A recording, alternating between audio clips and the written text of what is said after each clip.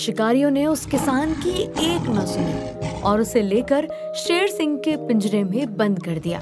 शेर सिंह को सच में भूख लगी थी। नहीं नहीं मुझे मत खाओ मुझे छोड़ दो।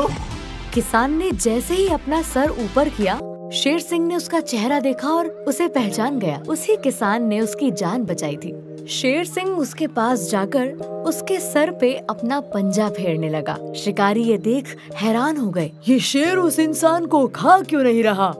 इधर किसान को ये समझ में आ गया कि शिकारी ने शेर सिंह को बंदी बनाया है। उसने शेर सिंह को बचाने की सोची और शेर सिंह के कान में अपनी योजना बताई। शेर सिंह किसान की बात समझ गया।